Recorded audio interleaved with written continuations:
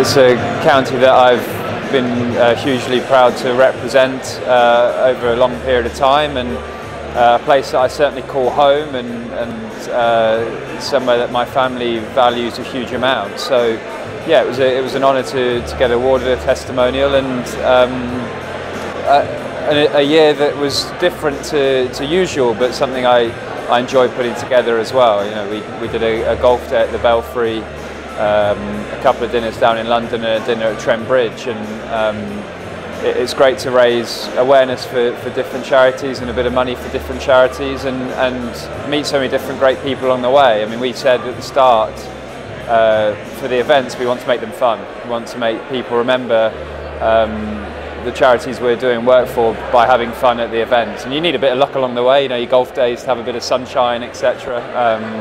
But what a year to have had it with a World Cup and, uh, and an enthralling Ashes series as well. So uh, yeah, I can certainly look back at the events we did um, with a lot of pride and, and, and smile, and hopefully the players who, who attended um, were very kind enough to attend the events enjoyed them as well. Made it to all the events, yeah. I think, uh, I mean, you never know in cricket, do you, that um, with travelling and different squad selections and stuff where you'll be, but uh, we tried to arrange certainly the golf day and the end of Ashes dinner around the, the Ashes Test matches. So I was just praying I was going to get selected, obviously, because that uh, makes a big difference as to where I'd be playing.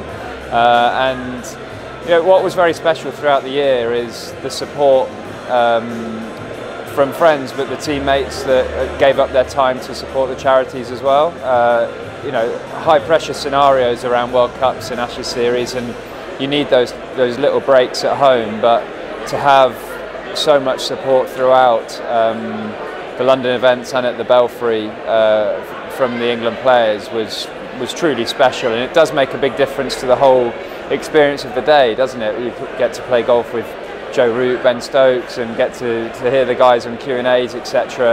Uh, and the feedback we had from the events was was brilliant, and um, I will always remember anyone in the hospitality business or event organising, I, I have a lot of respect for everybody involved because it's, it's a huge amount of work. You call in a lot of favours. You have to.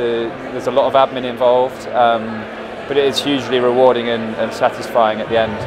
I've been a supporter of the trust ever since I, I started playing cricket. They're, they're, a, they're a charity that um, offer cricketers, past, present, um, families, etc., a huge amount. And uh, as an England team, we've always supported uh, the trust throughout all, all, our careers, and, and we know that uh, they will be there for any cricketer, friends, etc., if needed. And uh, it was a no-brainer for me to want to support support the charity uh, because I see how much uh, good work they do.